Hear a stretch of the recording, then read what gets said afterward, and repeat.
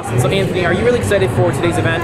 I'm very excited. Uh, it's going to be a lot of fun. I can't wait to sing my songs at a halftime, and it's going to be really cool. How has your life changed since your appearance at a Siena College basketball game? Um, since my first appearance, I was uh, seven years old actually since then, and um, from my Siena game video, I uh, actually got four million views on there, and um, some producers from the Ellen Show contacted me and had me on their show, and since then it's just gone uphill from there. It's been really awesome. That's great. And what are you performing today at the halftime show? Um, I'm performing a song called "Turn Up the Music" by Chris Brown, and one of my songs called "Game Over." Great. Are you a big supporter of breast cancer? I am a big supporter of breast cancer, and I think that this game, when I heard about the idea, we knew that we had to jump on it. It's it's a phenomenal idea, and I know I know it's going to be a great night tonight.